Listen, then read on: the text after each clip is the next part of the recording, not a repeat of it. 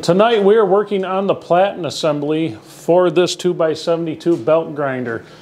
If you are new to this build so far, this is part three. The first part we did the base frame of it. The second part we did the uh, tracking pillar.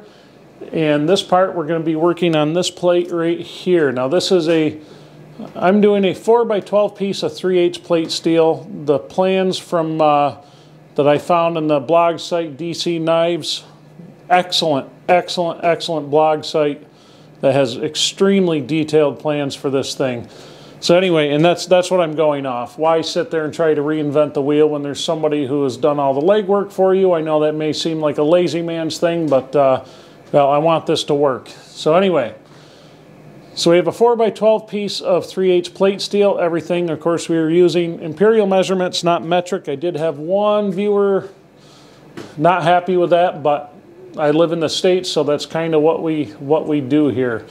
So anyway, we need two half inch holes for the, uh, oh, for the bolts that are going to support the, uh, the two inch, the two inch wheels. Geez, I can't talk.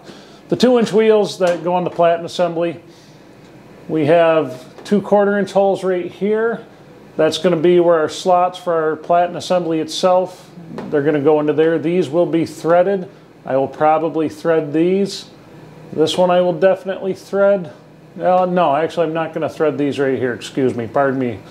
Made a mistake. I'm going to thread the piece of inch and a half uh, tube stock or square stock that that's going to mount to. So we have a quarter inch hole in the center and then we have a quarter inch hole for adjustment right there. So that's what we're going to be working on. It's going to be mostly drilling and tapping and all that good stuff tonight. But uh, that's what we have. That's where we're at. So stay tuned. I hope you enjoy it, and I'll see you on the other side of it. Oh, I'm quickly burying myself again. I just cleaned this forge out pretty decently, and one project, not even halfway through, and she's already looking like death again. So anyway, we got to make a few marks on here. We're going to use a punch. Now I got checking my, I put the uh, idler assembly, the tracking assembly on there and I got looking at it and says, boy, that just doesn't seem, it was out of square. And I, uh, so anyway, where are we? Three quarters in? Yes. So anyway, I got, uh, I got looking at it. And I put a square on my drill press. And I'll be damned if that drill press wasn't out, oh, a little over a sixteenth of an inch. It's like, yeah, no wonder. No wonder you're a little bit out of square there. So the first holes we're going to line out here are going to be our half inch holes that are going to support the wheels. If I can find my mark, there we go.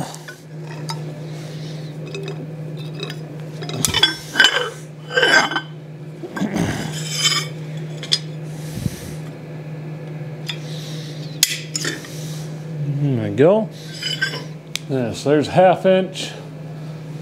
Next one down are going to be two and three quarter inches in off of each end. And they're going to be in an inch.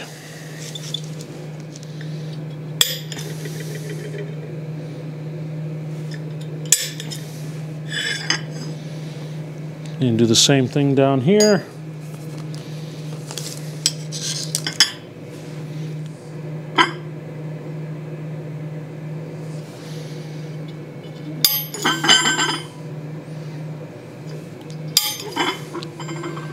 Well, that works nice.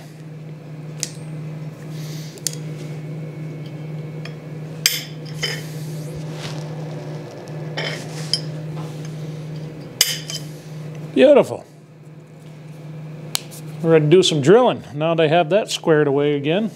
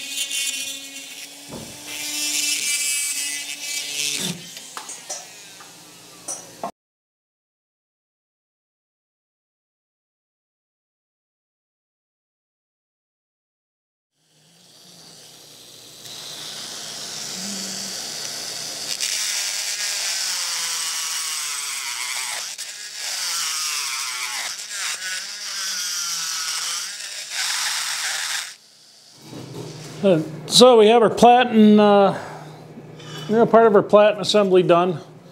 All right, there, let's see if you guys can see that all right. So we have our adjustment here, so when it's on, we can pivot this. We've got our holes drilled for the bearing shafts. We have our quarter inch holes drilled for the uh, platen plate that we're going to attach to this. We're going to use some angle iron for that. And then uh, we're going to make it so we can attach a piece of tool steel to it because the back side of the belts will wear through the mild steel pretty quick from what I have read. So everything I'm going on here, folks, is what I have read or what I have watched. Gotta love YouTube. It's good for everything. So next thing up we need to do, we need a piece of inch and a half uh, tube or square stock. We need to cut that 17 inches long according to the plans that I am following. Of course, I'm going to have to put the uh, weld the eighth inch shims on there also. Then we'll have to grind it down till it fits right. Now I got rid of those cheesy, I got rid of these things that I made. I only figured those for temporary. And uh, oh, I was in Lowe's the other day just looking for stuff to use here and got a hold of some decent plastic knobs. They're about two bucks a piece, so not too bad. Did the same thing for the tracking arm or the uh, the tracking bracket. Well, let's see here. If I can get it out of here, we'll be all right. Long-winded she is. Also, I picked up I picked up a better spring. I was not happy. I wasn't happy with the way that this screen door uh, strainer spring held in there. It just it was too small. The the weight feels about right, but not quite enough. So I got the next closest thing I could do to specs. This is a 34 pound spring. I picked up two of them at Fastenal for $3.50, so that's not too bad, but uh, much better much better on that. But anyway, oh yeah, I was showing you this knob. That's what I was doing. I always forget. I've been out here all night screwing around with that plate right there, that 3 8 plate. My good, my good rotary tool that I used to use to port chainsaws, because that's something I used to be into many, many moons ago. The chuck flew off of it tonight, and there was some fancy cursing. I'm not sure if I'm going to edit that out or not yet. Probably will because uh, I got a little pissed off there. But there is the tracking bolt. Also, taking old Sneelock's advice. If you guys have never checked him out, check out old Sneelock's workshop. He restores vintage tools, things like that. Very talented man. He recommended switching this over to a grade 8 bolt, and that's what we did. I got the closest thing I could get so that the, uh, the threads aren't actually sitting on that part. And he's absolutely right, that should last a lot longer. That was a really good comment. There's some good advice in that comment. But like I said, we may end up remaking this uh, riser piece, this pillar anyway, all for one hole that got drilled crooked. Yeah, it's been a great night, just discovery and but you know, the worst part is it's always stuff that you should catch. It's always stuff you should check. And I'm so guilty of just hopping into something and not doing that. And then it ends up costing me time. But that's all right because maybe you can do it even better. Just never know. So, anyway, we're going to cut our, our square stock here, uh, 17 inches. We've got to drill some holes and things like that. So, keep watching.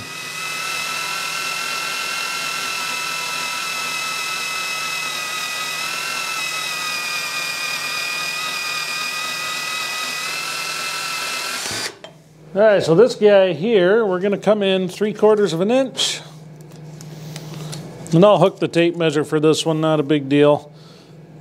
We'll come in on this three quarters. And we're going to come from there in an inch and a half. Now I made a, a mistake that center hole in the platen plate is going to be, uh, or the platen assembly is going to be 3 eighths, not, it's not going to be um, a quarter.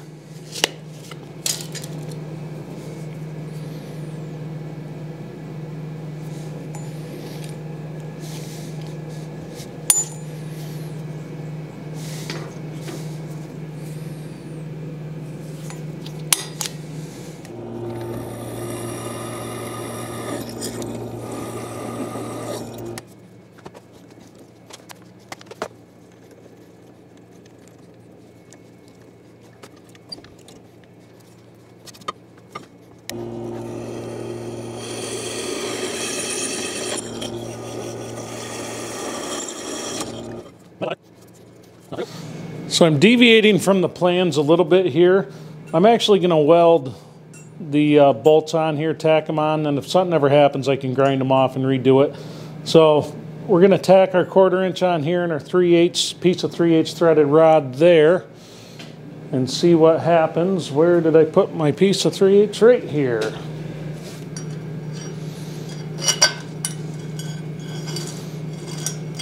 And see that'll do her.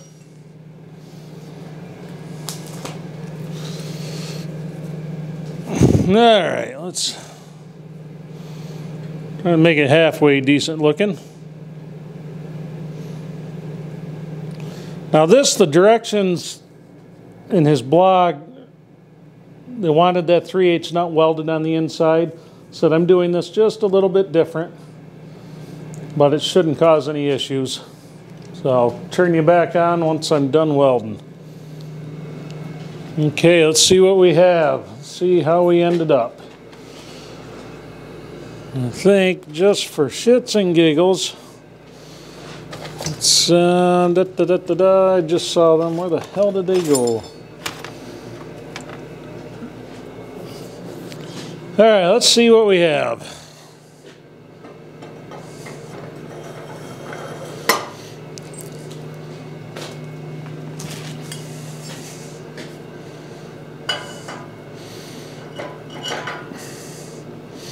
I did some butchery here on that, uh, on this guy quite a bit. That did not go very well, but it's good enough for government work.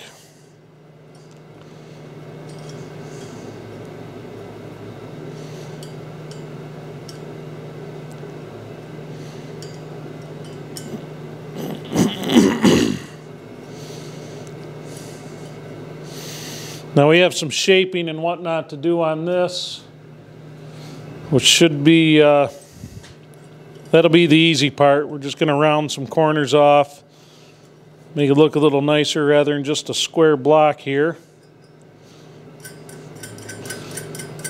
We'll trim this quarter inch nut down or bolt down.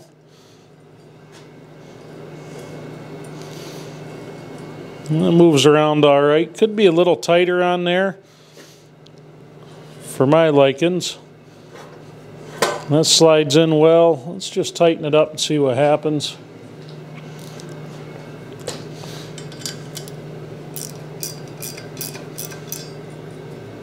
Make sure everything fits square on there.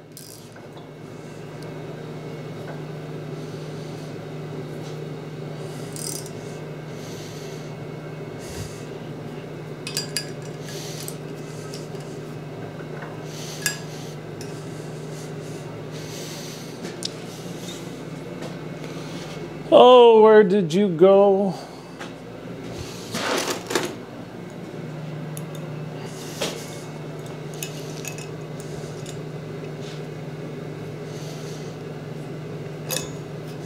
We put, may put a wing nut or something on that. That's just to hold that in place. The uh, the 3 8 rod is doing most of the work.